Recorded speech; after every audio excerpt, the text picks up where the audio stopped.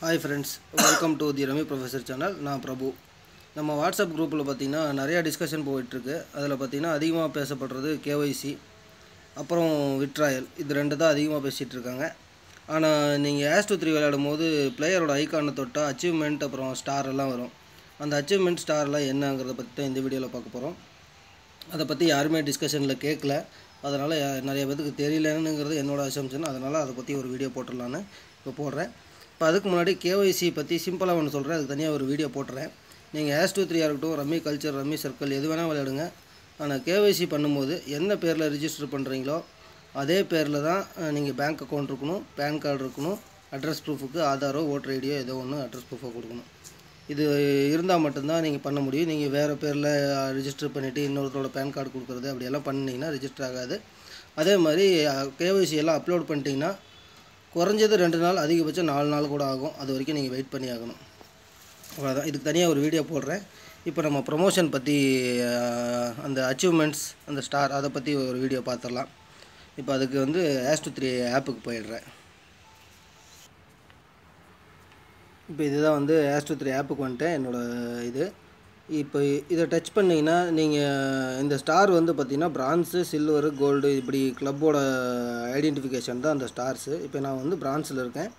இன்னும் இரநூத்தி எண்பத்தி மூணு ஆஸ் பாயிண்ட்ஸ் எடுத்தோம்னா அடுத்த லெவல் சில்வர் இன்னொரு ஸ்டார் வரும். ஒரு ஆஸ் பாயிண்ட்டுங்கிறது ஐம்பது ரூபா. ஐம்பது ரூபா ஸ்பெண்ட் பண்ணோம்னா ஒரு ஆஸ் பாயிண்ட் கிடைக்கும். இதுதான் வந்து கான்செப்ட்டு இப்போ அந்த அச்சீவ்மெண்ட் அப்படின்னா என்னென்னு பார்த்தீங்கன்னா இப்படி ஐக்கானை டச் பண்ணிங்கன்னா கீழே பார்த்தீங்கன்னா இங்கே ப்ரமோஷன் ஒரு ஆப்ஷன் இருக்குது அந்த ப்ரொமோஷனுங்கிறத கிளிக் பண்ணிங்கன்னா அச்சீவ்மெண்ட்ஸ்னு வரும். இந்த அச்சீவ்மெண்ட்டை டச் பண்ணிங்கன்னா இப்போது எனக்கு கம்ப்ளீட்டட் அச்சீவ்மெண்ட்ஸ் பார்த்தீங்கன்னா இது எல்லாமே கம்ப்ளீட் ஆயிடுச்சு இந்த ஃபஸ்ட் அச்சீவ்மெண்ட் பார்த்தீங்கன்னா அஞ்சு மேட்ச்சு தொடர்ந்து ஜெயிக்கணும். ஜெயித்தா அதுக்கு ஒரு பத்து ரூபா வருது. ஒரு சில பேர்த்துக்கு எச்சா கூட வருது. இருபது ரூபா கூட வருது. அதே மாதிரி ஸ்டேக் மாஸ்டர் நீங்கள் பாயிண்ட்ஸ் ரம்மி விளையாடும் போது அது அஞ்சு பிசா பாயிண்ட்ஸ் ரம்மியோ பத்து பிசா பாயிண்ட்ஸ் ரம்மியோ எது வேணால் இருந்து போது விளையாடும் போது மற்றவங்க எல்லாம் கொடுக்குற பாயிண்ட்டு குறைஞ்சபட்சம் நூற்றி எழுபத்தஞ்சாவது இருந்ததுன்னா அதுக்கு நாற்பது ரூபா வருது. சில பேர்த்துக்கு அறுபத்தாறு ரூபா வருது. எனக்கு நாற்பது ரூபா தான் வந்திருக்கு. அதிகபட்சம் அறுபத்தாறு ரூபா வந்த வரைக்கும் நான் பார்த்துருக்கேன். அப்புறம் பூல் ரம்மியில் நூற்றி ஒன்று பூல் ரம்மியில் ஐம்பத்தி ஒரு பாயிண்ட்டுக்குள்ளே இருந்து நீங்கள் முழு காசையும் ஜெயிச்சிருக்கணும் அல்லது ஸ்ப்ளிட் ஆகி வின் பண்ணியிருக்கணும் மொத்தத்தில் மேட்ச் முடிஞ்சதுன்னா நூற்றி ஒரு பாயிண்ட்டில் ஐம்பத்தி ஒரு பாயிண்ட்டுக்குள்ளே இருந்து நீங்கள் வின் பண்ணிங்கன்னா இருபது ரூபா எனக்கு வந்திருக்கு. அதிகபட்சம் நாற்பது ரூபா வருது.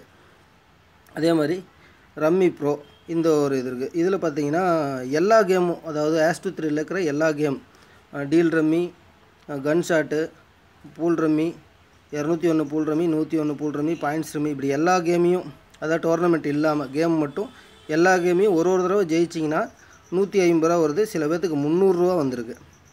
இது ஒரு ஆப்ஷன் அப்புறம் பார்த்தீங்கன்னா முப்பது நாளுக்குள்ளே மூணு மேட்ச்சு ஜெயிச்சிருக்கணும்.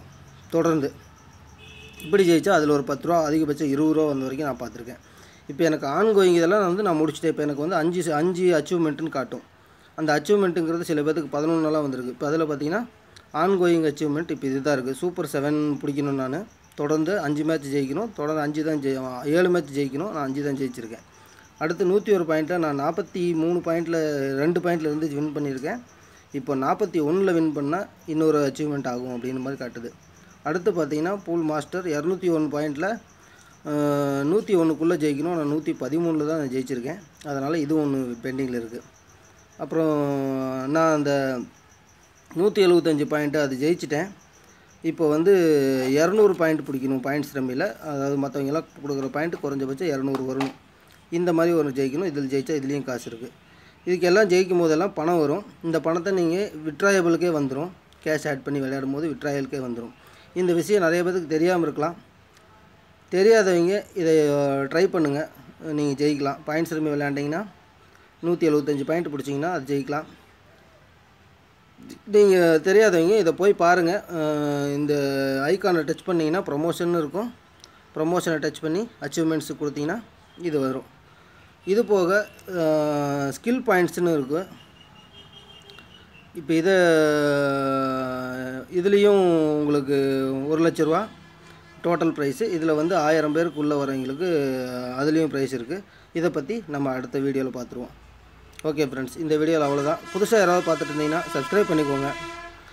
ஷேர் பண்ணுங்கள் கமெண்ட் பண்ணுங்கள் தேங்க்யூ ஃபார் வாட்சிங் பாய்